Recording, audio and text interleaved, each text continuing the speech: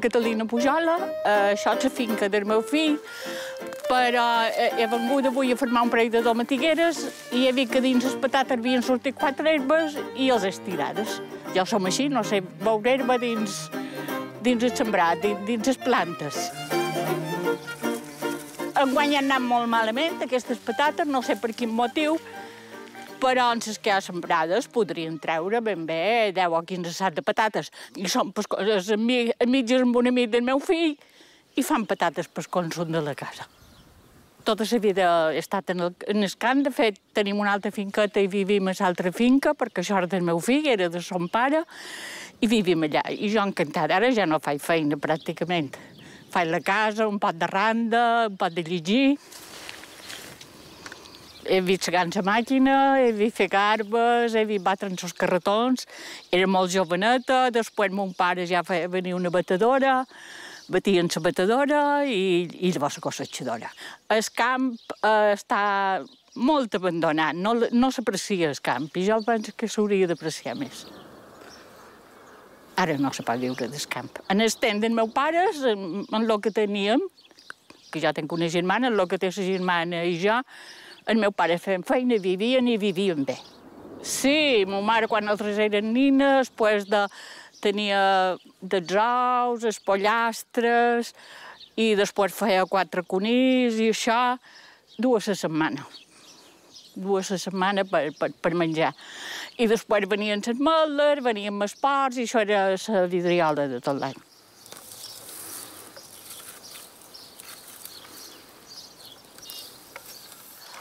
Per la tranquil·litat i la germanor que hi havia en el camp, sí, sí que l'enyor. Perquè ara, per exemple, allà on vivim, que està més en fora del poble, pues, de veïnats, o, o, tot o no te diré que era un cosí meu i jo.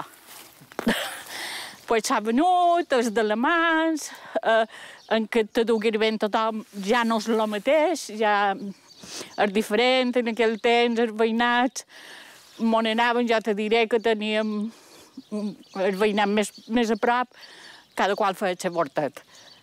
Però, per exemple, que nosaltres el teníem a l'altre cap de Tronos, que la finca sigui molt gran, tampoc, però...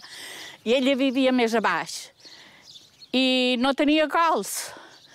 Ja no arribava a, a, a nostra. Després, quan se veien amb un pare o una mare, mira que vaig haver de cuinar i te vaig cuir una col.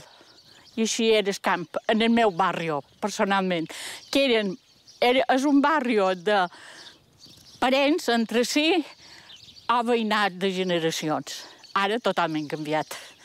Ara molta gent ha venut perquè el camp no dona i s'ha pagat molt bé, tot això, i, i és totalment diferent mitja dotzena de mongeters. Tu saps que es cuir la mongeta i fer l'ensaladilla o posar-la dins l'arròs. No és el mateix, és, e, és molt més bona. De, de, de, sa, de sa planta, la taula, no té punt de comparació.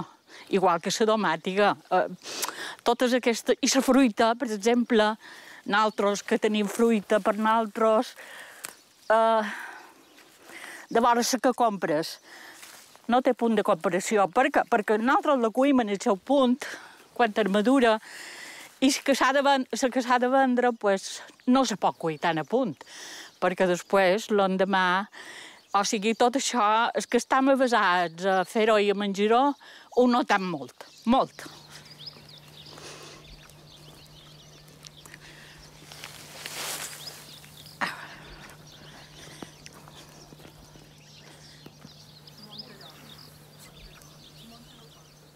Pues ara farem aquestes domatigueres perquè se mantenguin dretes, les domàtiques no mos rosseguin per terra i així eh, no, no s'espanyin, no, no hi vagi un, un gri i els se mengi, i elles creixen dretes, se fan ombres les mateixes domàtiques i surten molt guapes i molt bé.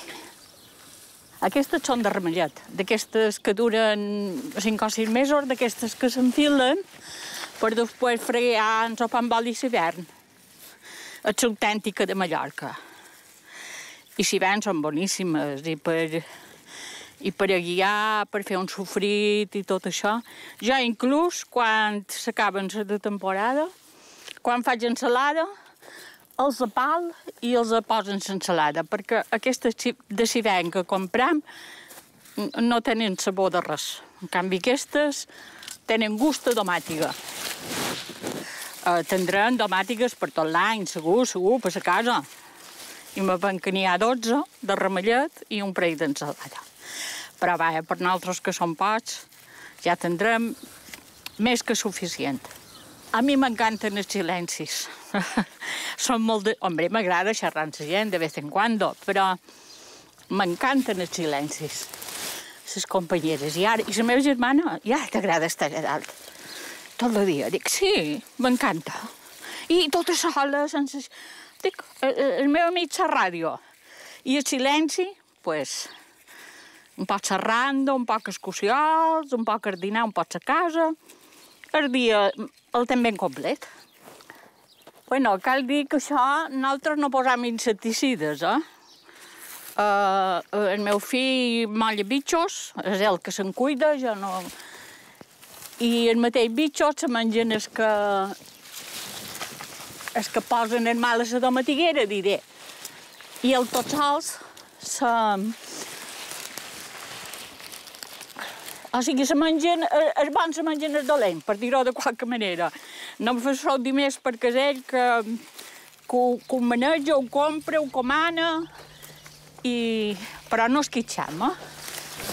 Bueno, ara aquesta no m'arribarà, doncs pues em fagiran dues i així abraçarem tot.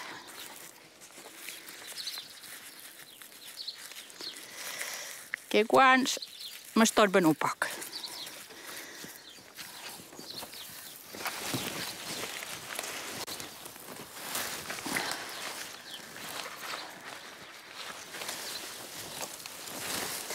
Aquesta ja hauria d'haver estat fermada fa un parell de dies i hagués estat més bona de fermar.